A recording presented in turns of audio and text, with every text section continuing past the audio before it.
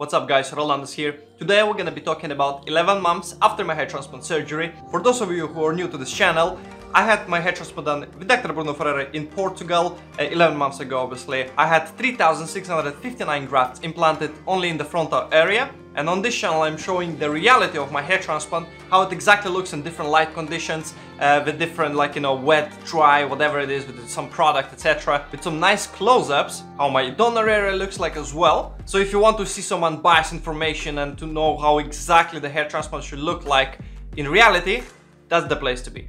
And I actually just uh, finished filming my uh, close-ups uh, of the frontal hairline. So obviously just washed my hair, blow dry it a little bit to make it dry. And I was ready to film my usual close-ups for you guys. And I just realized so many people are saying like, come on man, just do some hairstyling.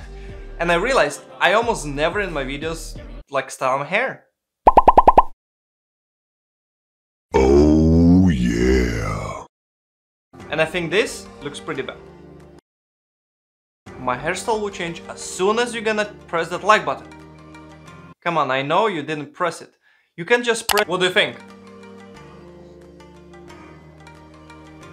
Some people say that I look actually like Marco Reus. Do you think I look alike?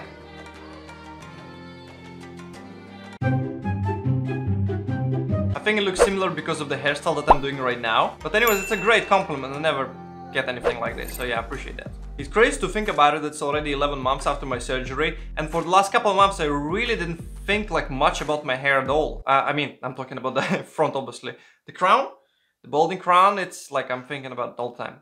Hence why I can have a second surgery, which by the way, I'm talking to Dr. Bruno Ferreira right now, scheduling my second surgery and it looks like it's gonna be sometime in June. It's like pushing way too far.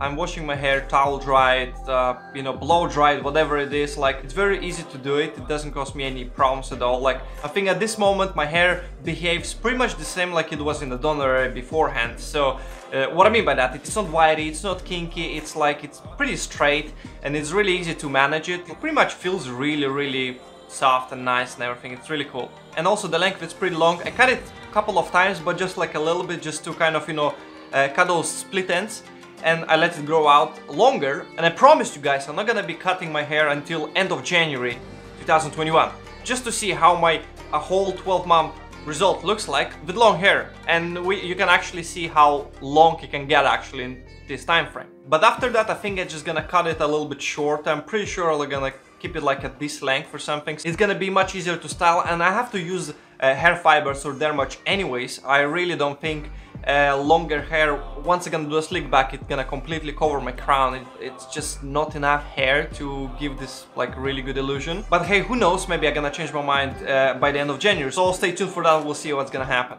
So as soon as I'm gonna get back from Dr. Ferreira about the whole plan, surgical plan of my second surgery, I'm gonna make a separate video on that. Also, people keep asking me what I'm using right now, so I'm not on Minoxidil, I'm only on finasteride 1 milligram every day for last about, what, 16 months or so.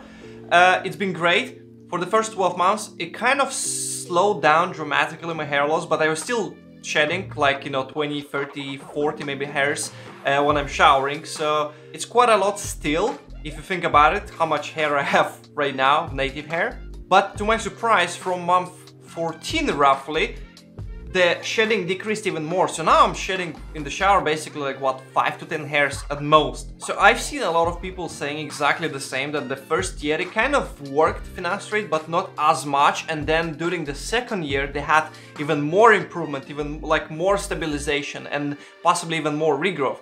So for my case it was the same. I was using minoxidil with microneedling before my surgery so I had a, a pretty good mid-scalp and crown and then I stopped before surgery. I decided never to come back on it and I lost ground obviously. It was not a lot but a little bit and uh, I think right now my crown and mid-scalp looks pretty much the same like it was looking after my minoxidil microneedling regimen.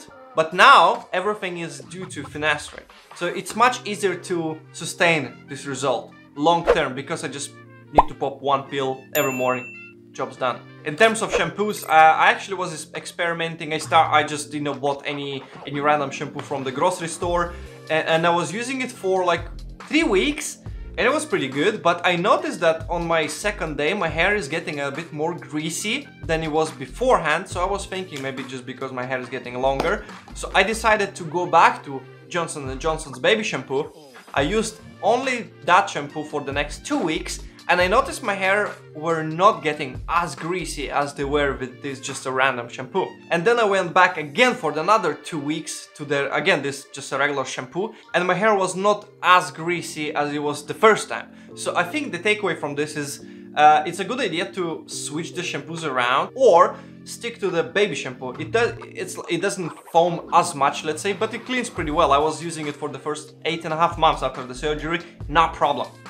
And to be honest, I don't really know how exactly it works, but it's just my experience. I don't know, like, did you find something similar? Comment down below if you had similar experience. I would be curious to know. Supplements, uh, I think at this point everyone already knows where I'm standing on supplements. I think you don't really need any supplements for your hair transplant.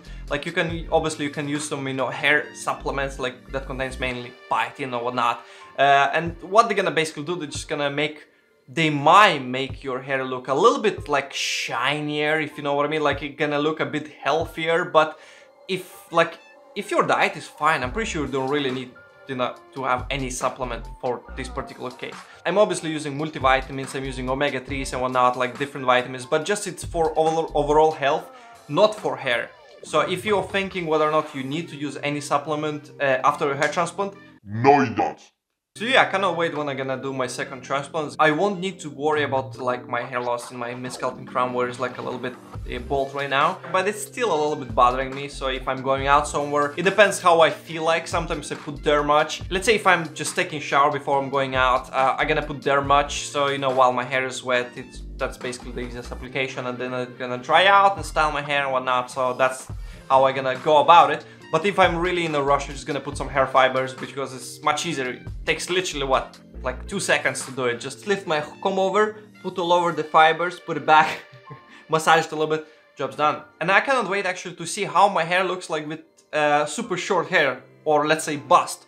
Uh, so obviously on my second surgery they're gonna bust my hair completely you know down and that's gonna be the time when I'm gonna make a good quality picture and I'm gonna be able to count every single hair the new hair that's been implanted and compare it to my uh, immediately post-operation pictures. And in this way I can find out roughly like survival rate if it makes sense. Like we're gonna see how much hair was implanted and how much hair survived after one year. I never seen anyone doing it so if you're curious to see it as well make sure to subscribe to the channel. Stay tuned. As soon as I'm gonna have my uh, second transplant I'm gonna make a plenty of pictures shitload of videos. So just to document it as much as possible. And it's gonna be much better than the first time.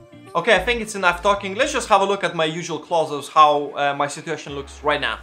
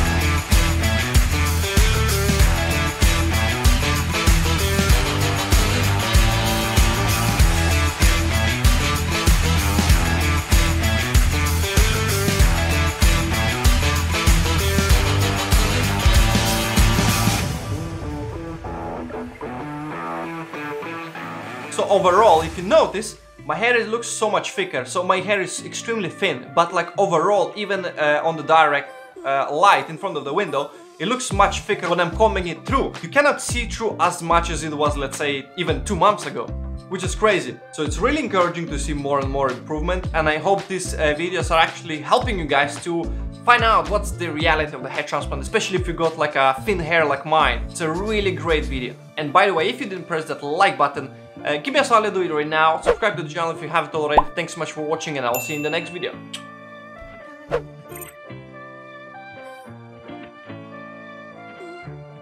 Oh, by the way, Happy New Year!